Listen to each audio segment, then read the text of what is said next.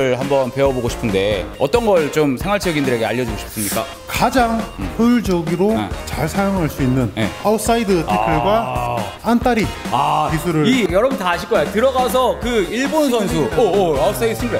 저희 형내도 이 상대가 잡으면 이팔 하거든요 이렇게 하면 상대도 똑같이 파요 상대가 팔로 올 때 다리가 오잖아요 다리가 올때 들어가 자, 안녕하십니까. 얼개빵 철학입니다. 자, 오늘은 진짜 리얼한 그 스페셜 게스트분들. 아, 나 인사 한번 해주세요. 네 안녕하세요 저는 이제 레슬링 전 국가대표 남경진입니다 지금 몇 킬로 정도 나가죠? 지금 현재 체중이 조금 빠져서 한 112kg 정도 112킬로. 원래 운동 빡세게 할 때는 몇 킬로 정도? 어, 선수촌에 제가 한 12년 정도 있었는데 그때 평균 체중이 한 115kg 정도 115. 한 10년 정도 유지했어요 근데 지금 체급이 125킬로 아닌가요? 어 맞아 맞아 125kg인데 그냥 115kg로 10kg 미달인 상태에서 그렇게 막 어 근데 체중이 많이 나가면 힘은 좋겠지만 저는 이제 기술력과 스피드로 하기 때문에 힘을 어, 스피드로 제압을 할 수 있다. 그리고 또 제가 힘이 약한 게 아닙니다.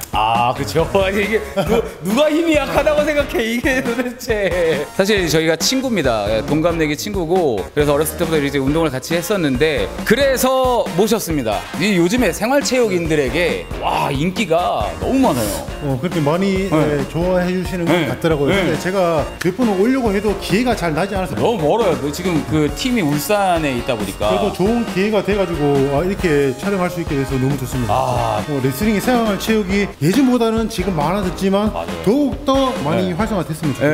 예, 진짜 많은 분들이 사랑해주고 계셔서 경진이 같은 친구가 또 인플루언서로 또 많이 나가고 그랬으면 좋겠습니다. 자, 오늘 그래서 남경진 선수의 필살기 두 가지 기술을 한번 배워보고 싶은데 어떤 걸 좀 생활체육인들에게 알려주고 싶습니까? 가장 효율적으로 네. 잘 사용할 수 있는 네. 아웃사이드 태클과 안다리 기술을 이 아웃사이드 태클이라고 여러분 다 아실 거야. 들어가서 그 일본 선수, 오, 오, 아웃사이드 싱글.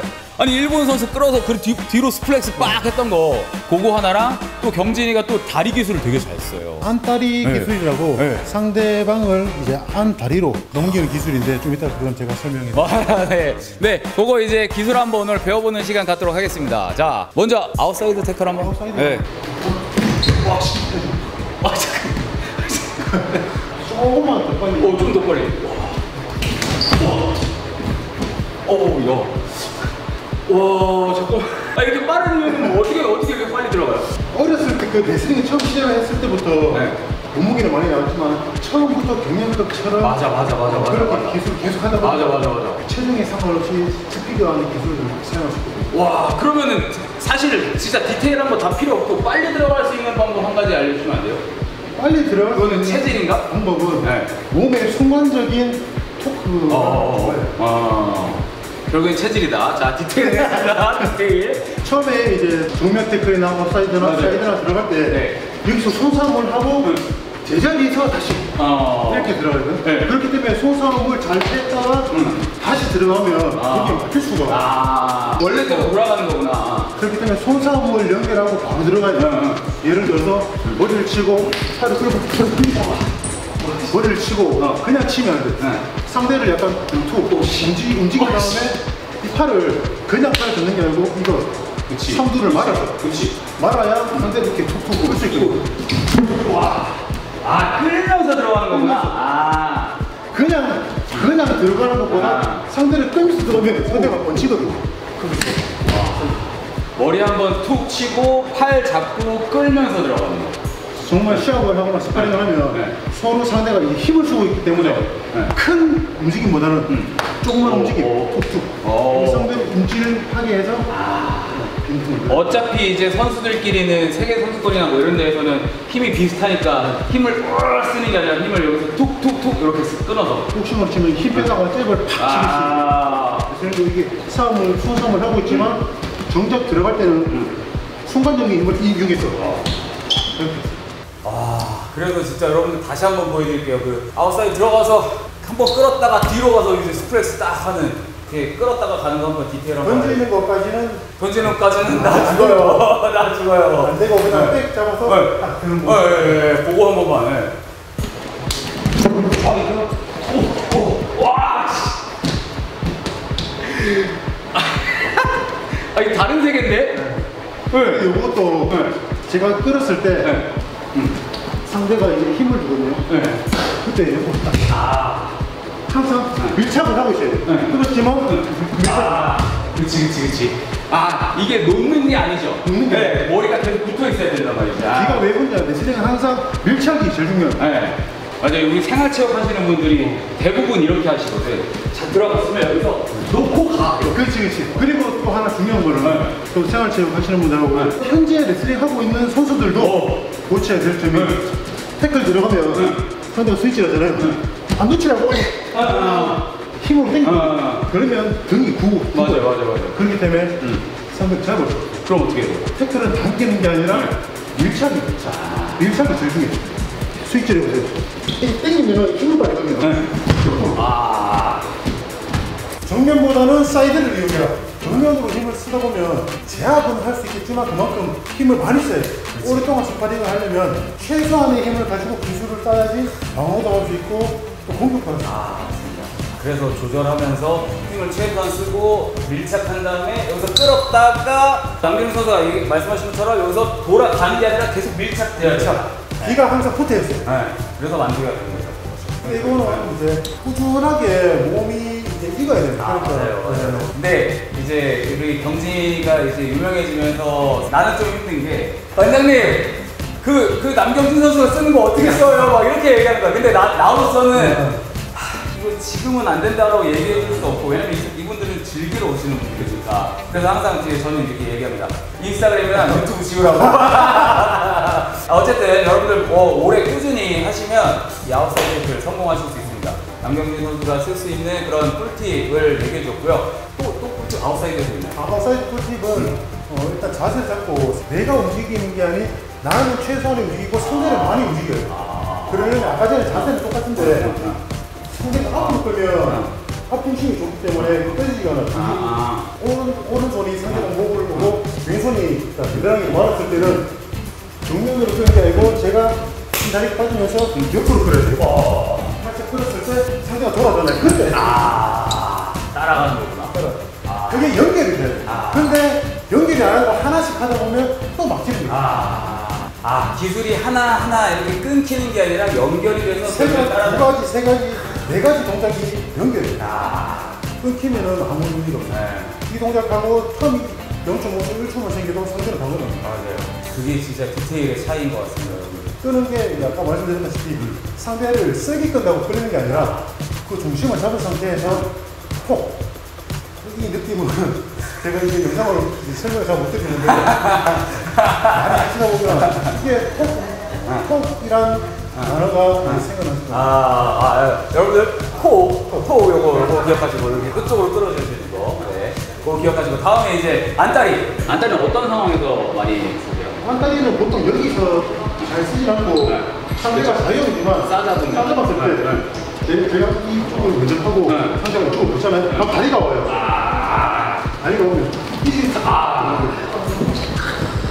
요것도 가만히 서서 중심을 잡고 있는 선수한테는 절대로 안 좋아요. 맞아요. 태클도 그렇고 뭐 모든 기술이 상대로 움직이면서 써야지 힘을 안 들이고 예. 그렇죠. 상대방이 움직이게끔 끌어내서 거기서 딱 들어가는 거죠. 무조건 어떤 기술이든 상대를 움직이게 상대를 끌게 나와요. 아, 근데 이게 사실 안다리가 유연해야 허리가 유연해야 되고 골반이 유연해야 맞아요. 골반이 유연해야 이게 딱 되는 건데 1위급이 이 안다리 쓴다는 게 사실 진짜 되게 신기한 광경이거든요. 옛날부터 좀큰 기술, 환영 기술을 좋아하다 보니까 뭐 안다리도 쓰고 버티기도 쓰고 야구를 쓰는데 뭐 계속 기술이 반복 연습을 하다 보니까 스파링에서 한 번 통하고 두 번 통하고 통할 때마다 재미를 느껴요. 아. 재미를 느끼, 느끼다 보면 계속 차이가 나요. 아. 그게 이 생활체육 하시는 분들 들으세요. 진짜 이게 이거 본다고 되는 게 아니에요. 이게. 그- 이게 제가 뭐 이렇게 기술을 말씀드리지만 각자 선수들마다 스타일이 다 맞아요. 그거는 참고만 하시고 네. 특정 포인트만 아까 말씀드렸다시피 톡 이런 거 요거 톡, 톡 요거 요거 기억하시고 안다리 한 번만 더 설명해 주세요. 안다리를 보통 자세는 잡지 않고 보통 이제 써가지고나 자연히 저기 이렇게 하는, 하는 경우가 많아요. 그러면 상대가 상대도 똑같이 하거든요. 그러면 그대로 들어가는 게 아니라 공간을 그 공간을 빼고 이쪽으로 돌려서 다리를 집어 넣는데 와, 씨, 와, 씨. 와, 뭐 이렇게 빠르지? 근데 이게 중요한 게 하나가 더 있어. 네. 다리가 이렇게 해서 이렇게 해서 누우면 상대는 너무 흐트릴 수가 없어요. 태클도 앞다리가 가면 뒷다리가 오는 만큼 네. 안다리도 이렇게 들어가면 뒷다리가 이렇게 들어와야 돼. 상대를 이쪽에 제 무릎에 진짜 디테일한 꿀팁이네요, 요거. 어. 반대다리가 안 들어가면 네. 어떤 현상이 일어나면 상체가 제껴지죠. 어, 이렇게 붙어버려요. 네. 상대가 물러. 네. 상체가 제껴지죠. 네. 기술은 흐트릴 수가 없어. 네.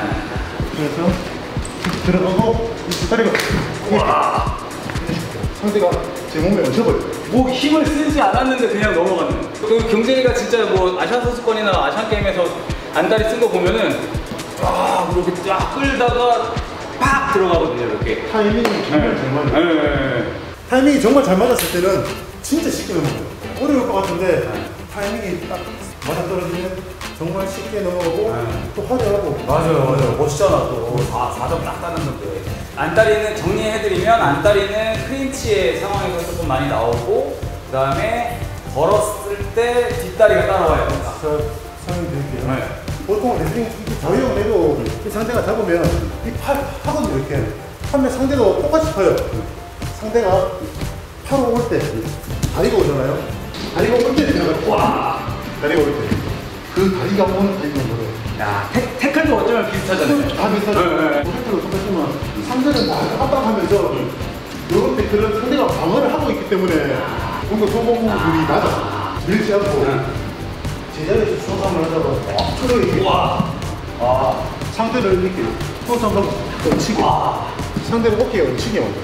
상대를 압박을 하면 그만큼 상대도 방어를 하기 때문에 저는 무조건 땡긴다. 땡기면서 앉아버린다. 아, 약간 끌어와서 이렇게 앉는 느낌으로. 아. 아, 근데 이게 헤비급에서도 사실 먹히는 게 좀 신기한. 그래서 네. 제가 이제 체중을 크게 안 치는 이유도 있고 힘이 딸리지 않는 한에서 스피드를 좀 순발력 있게 움직이려고. 또 디테일한 부분은 톡 하고 상대방, 상대방 중심 무너뜨리는 거 그거를 반복 연습 하시다 어, 보면 어, 어, 또이 상황 저 상황에서 많은 동작, 동작들이 나와요 그죠, 그죠, 그죠, 그죠. 근데 네. 그거를 계속 반복 연습 하셔가지고 네. 자기 몸에 익혀야 돼 개인마다 네. 스타일이 틀리기 네, 때문에 네, 네, 맞아요. 저 그러면은 그 생활체육 하시는 분들이 아실 수 있게 이쪽으로 끄는 것 좀 좀 한번 디테일하게 설명해 주실 수 있으세요? 일단 보통 오른다리 기준으로 네. 나간 발, 나간 손, 그 다음에 요거를 머리를 잡는 게 아니고 목, 목을 그냥 올리는 것도 아니고 이것도 감싸서 상대를 약간 끌어내리는 그 모션을 주면 상대가 들려버려요. 그때 놓으면 공간이 생기는 것도 있고, 자, 이거를 감싸고 팔도 감싸야 돼요. 팔도 감싸고 이제 끄는 거는 정면으로 끌지 말고 내 몸이 빠지면서. 아, 아 약간 투구처럼. 어, 투우처럼. 어. 오면은 이렇게. 어. 이런 식으로. 근데 여기서 그 딥이 빠졌다가 상대가 정면으로 온다. 그때 그때 따라 들어가는 거. 몸의 밸런스가 완전히 잡혀있지 않은 상태에서 태클 들어가는 거예요. 아, 너무 좋은 꿀팁인데요, 진짜 이거. 그러니까 연결을 해야 돼. 끄는 것 따로, 태클 들어가는 것 따로, 손싸움 따로 하면 아무 의미가 없어. 와. 그 모든 게 접사, 삼위일체가 돼야 성공 승률을 아, 경진이랑 딱 이렇게 자세를 잡아보면 헤비급인데도 불구하고 되게 안정적이에요. 자세가 좀 낮은 편이세요? 높을 때는 높은데 아. 또 상대 선수에 따라 아. 자세도 틀려주고 기술도 틀려주고 아. 손싸움도 틀려주고 아. 시합을 할 때나 스파링 할 때 제 기본기는 갖추되 상대방을 잘하는 걸 커트시키는 아, 전략이 생기는 거죠. 그렇죠 네, 전략이라고도 네, 네, 해도 되고 미리 상대방을 이미지 트레이닝을 하는 거죠 아 오늘 그 남경진 선수한테 10여 년간의 노하우를 이렇게 컨텐츠로 했는데 이 컨텐츠는 사실은 아 박제입니다 진짜 네, 나중에 이 댓글로 막 다른 거 엄청 많이 물어볼 것 같거든요 어, 그러면 네. 제가 또 이제 앞으로 시간이 많이 만들어서 어. 촬영도 하고 아 그러면 아, 자, 자 와주실 거죠? 아, 그 약속 형사 약속을 잡아서 네. 제가 세미나를 한번 하겠습니다 오 데드포인트에서 아, 오케이 오 진짜 경진이가 세미나 해주면은 저희 회원님들 너무 좋아하실 것 같아요 어, 그거를 어, 그러니까 그거를 네. 이제 네. 한번 미리 얘기해 주세요. 전이나 네. 뭐한 2주 전에 네네네네 얘기할 테니까 너무. 너무 좋습니다. 여러분들 그 이 영상 박제니까요. 야, 경진이 딱 약속 지킬 거니까. 털브로 그럼요, 그럼요. 어, 털브로는 확실하게 또 합니다. 확실합니다.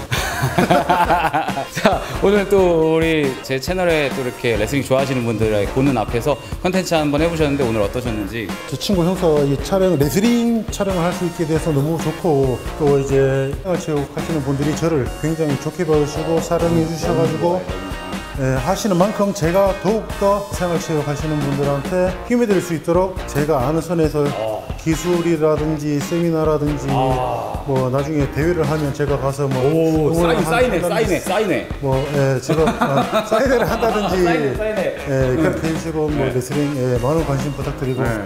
감사합니다. 어또 이제 앞으로도 유튜브 채널도 할 거잖아요 어, 지금은 이제 뭐 잘 하고 있진 않지만 네. 이제 유튜브도 같이 예, 할 생각입니다. 너무 기대됩니다 이런 고퀄리티 약간 강의 이런 것좀좀 많이 올려주세요 어, 여기 와서 좀 네. 가르쳐 드려야지. 네, 어.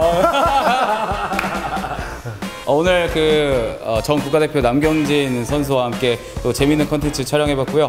어, 앞으로도 또 어, 즐거운 컨텐츠로 찾아뵙도록 하겠습니다. 감사합니다. 다음에 뵙겠습니다. 감사합니다.